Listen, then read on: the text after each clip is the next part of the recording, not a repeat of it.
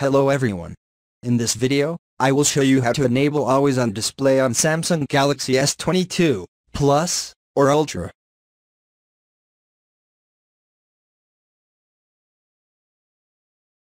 First, go to settings.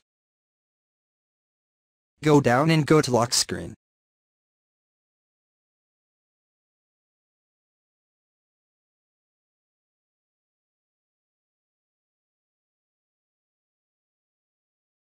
Here we have always on display. Tap on it. And now it's turn it off. Just press here to turn on. And we have here the options. Tap to show, show always, show a schedule, and show for new notifications.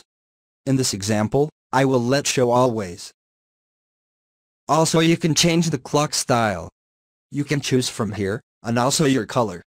And you can change the image clock.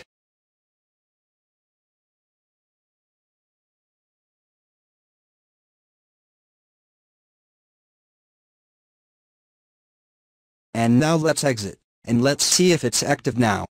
And as you can see, it's active now. Thanks watching this video.